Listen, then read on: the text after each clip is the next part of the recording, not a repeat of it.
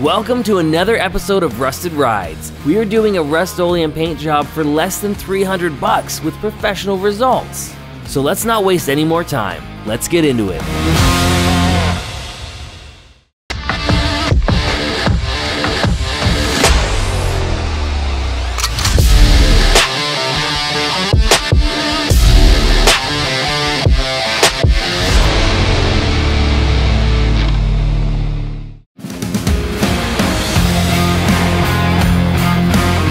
We started by stripping down the car and removing anything we didn't want to be painted the new color. There was lots of plastic cladding on this thing and it was covering the rocker panels which also needed some repair.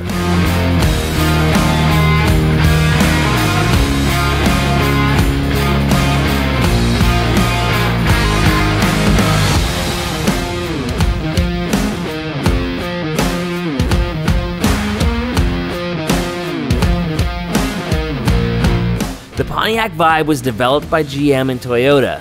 The Toyota Matrix and the Pontiac Vibe are practically identical mechanically, share an interior, and only look different from the outside. The Pontiac Vibe was built at the NUMMI plant in Fremont, California, which is now a Tesla factory.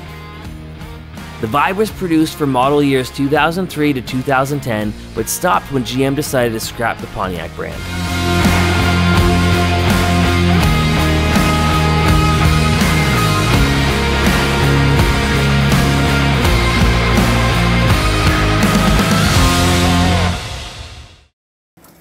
God, Roy, I don't know who you are, but get off of the back of this car. Any dealer watching right now, Stop putting your names on anything you sell, please. Yeah, it's the worst. I will pay you more money. Not that I ever buy new cars, but I will pay you more money to not put your sticker on my car. See ya. See ya. Okay. Just gonna make you, you need to be seen like not the camera in your hand for a change. Okay, Okay. I'm hands free. And that's because today I'm gonna be asking all the questions. Sure. So Tim, why is there a Pontiac Vibe in my shop? Because this good old Toyota needs a paint job. This is uh, this is a Pontiac Vibe 2003. Uh, it's my daily. It's good on gas, and uh, I've got my firefighter light there. It gets me where I need to go. Um, it starts when I turn the key, so that's a bonus, and it's really cheap, both on fuel and uh, when I bought it. It needs a little bit of love though. So as you can see here, it's a bit of rust over the windshield. We don't want that. Um, there's a few dings and stuff, nothing major. Um, I got a little bit of rot down here behind this wheel. Now that's gonna be my job. Yep. a little bit of rot over here in front of this wheel. Your jobs again. And then the, the nuts that hold the door handles on rusted and created this like rust staining situation. So we're gonna fix that. But I mean, stop finding jobs for me. But you know what? After we washed the car before bringing it in here, it's like, dang, it looks looks pretty good. Same thing on this side. It's just uh, it's not that bad right here actually, but just again a little bit of a little bit of crunch there. The good thing about this though, to make your job easy, is that all of this is covered with cl- cladding. So you just have to, like, you don't even have to make it look good. Just, you know, take off whatever needs to be taken off, put on new. We gotta live up to our name. Um, so this, and, and no offense, it's it's not a very cool car. So what's the significance of uh, videotaping this project? Why is it in here? Well, other than it needing a bit of paint, like it needs a bit of repair, so I wanted to touch that up. But if I'm gonna be touching that up, I might as well change the color to something I like more, make this car cooler and more fun to drive just because it looks better.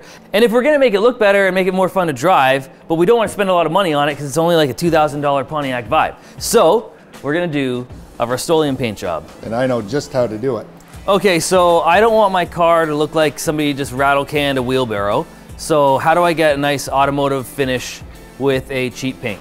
Well, come here and look at this.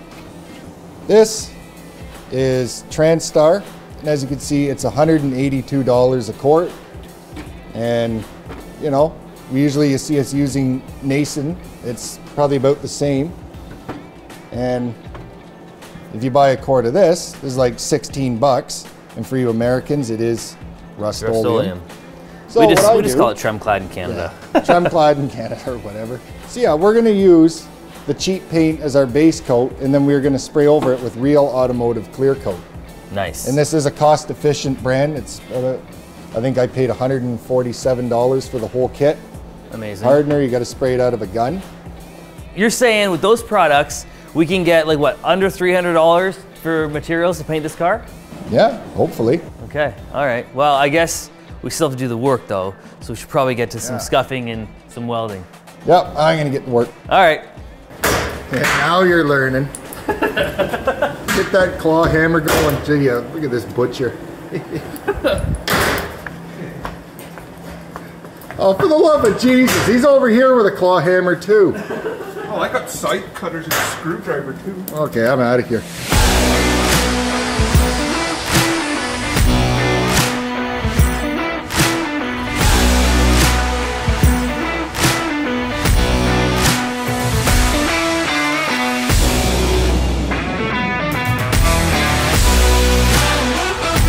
Cam got to work patching the rocker panels while I started sanding down the rest of the car.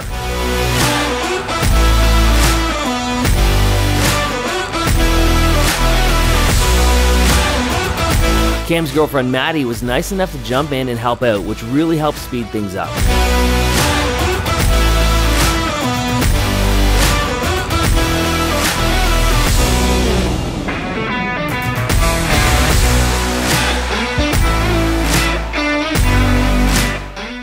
Right, so this here is something we got to work on that can be kind of tricky because it's right up by the windshield. Um, I think, fingers crossed, it hasn't reached too far in that we're gonna have to pull the windshield. It's only 21 years old and it's already gaining a receding hairline. So we're gonna separate this gasket. It might be easier to start on this side here. I'm separate that gasket from the window and the body. I'm gonna get you to hold this piece of metal while I get the grinder and take some of this dandruff off.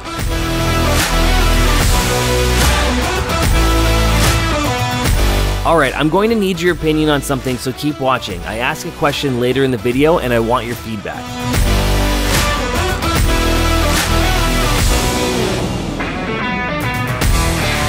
How come we're, uh, we got multiple colors of blue here and we're gonna start mixing together? Well, because this blue is just a little bit too light. I mean, hey, I, I do like it, but I want to go for that like voodoo blue that you see on like the Toyota Tacomas or even like the FJ. Um, so we got light blue, we got dark blue. We're gonna put those in there, and we're gonna add a little bit of dark blue, just a little bit at a time until we get the color that we want. Okay, this should be fun. Look at all that paint for that little car.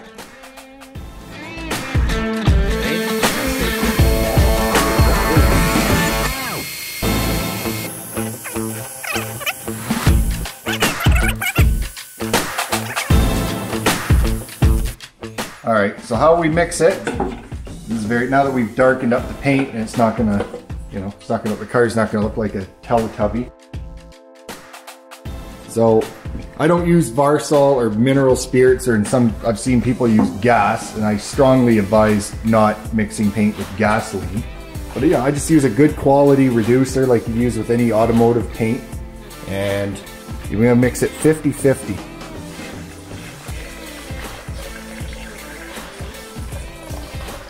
Jesus, and there's the rest of that container. Hopefully, we have a little more. We didn't quite get to 50.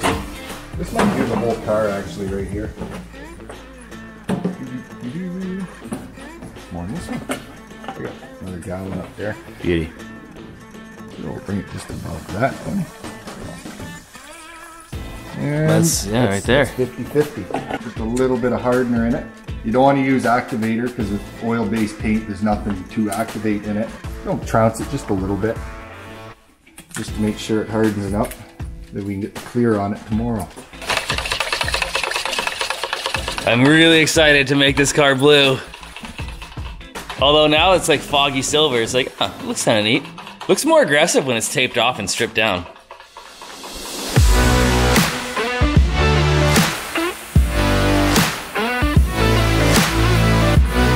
Was really cool seeing the blue spray out on the car. It was finally starting to look the way I wanted it to.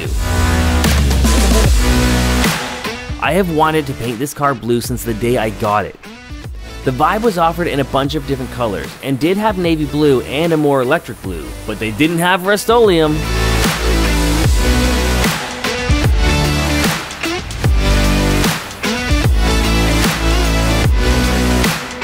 You might notice that we're not painting the door jambs. This is just a daily driver for me and needs to be a daily driver paint job, and I'm not concerned with the door jambs because it's already silver.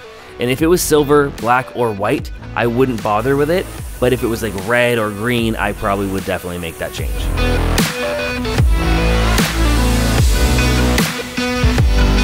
I also forgot to lay out that middle of the door plastic trim, so that didn't get painted. So I will do it another time, it just won't make it into this video.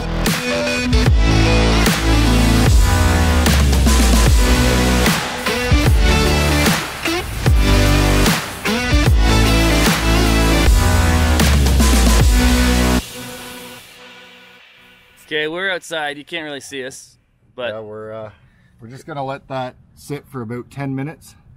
That's just the first coat. People uh, they try to do it in one heavy coat and Yeah. it ends up running and looking awful. So we just did that's the tack coat and let it sit for 10 minutes. We got the heat cranked in there, and we're gonna go back in. And uh, I'm confident that should only need two coat. Is there an animal out here? Something just hear that? something just like fell off the charger. I feel like I'm sure we can't see. I they don't know where I'm looking, but I, but something was over by the charger. Anyway, um, Back in 10 minutes. yeah, exactly. Second coat.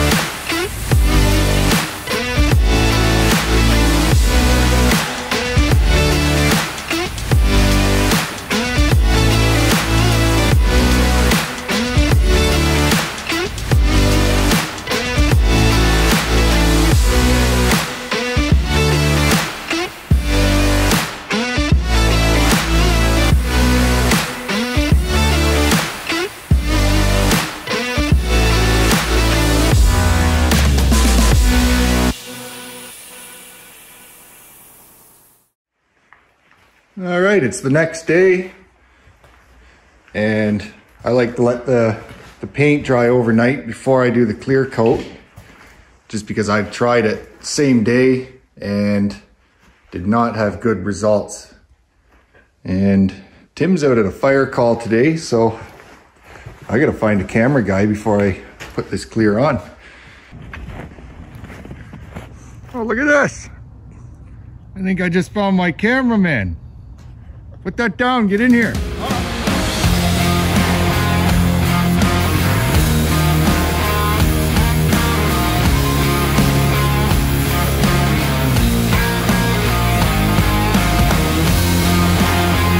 With Dusty working the camera, Cam sprayed three coats of clear on the Vibe. It really gave the paint job more depth and will help protect the paint from sun damage and fading.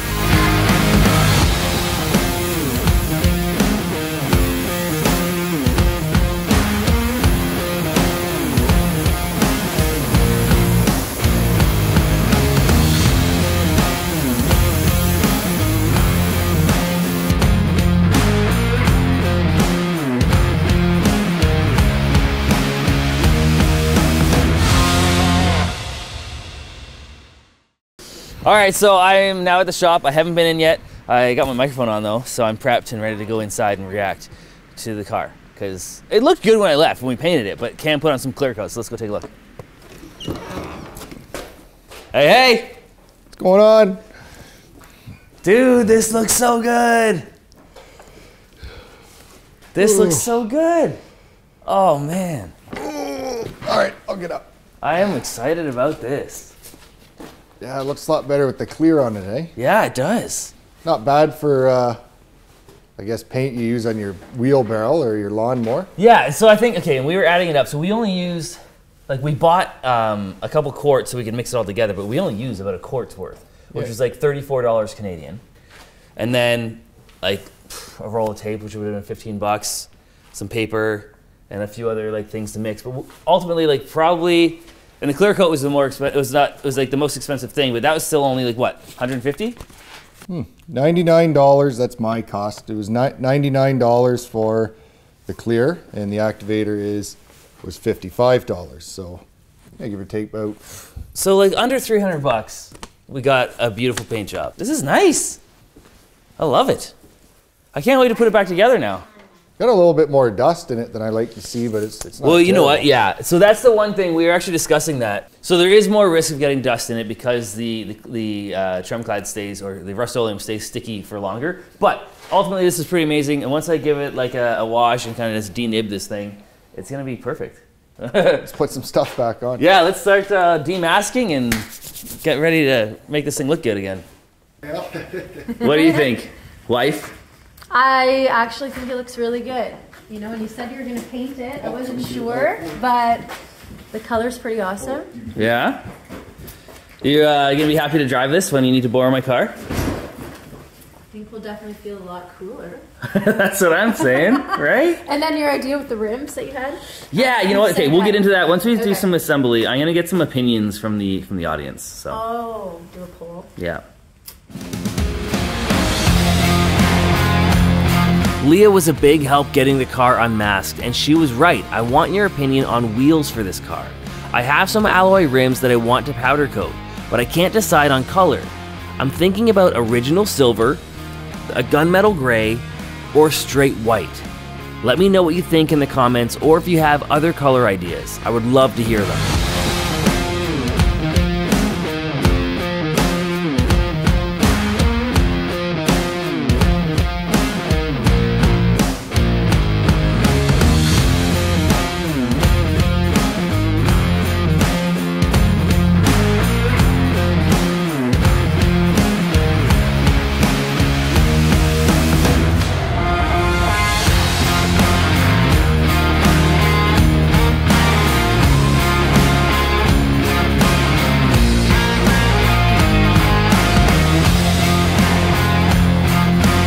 Once all the cladding was back on the car, we treated it with Cerakote Trim Restore. It was reviewed by the YouTube channel Project Farm, and that's why I chose this product. It worked fantastic.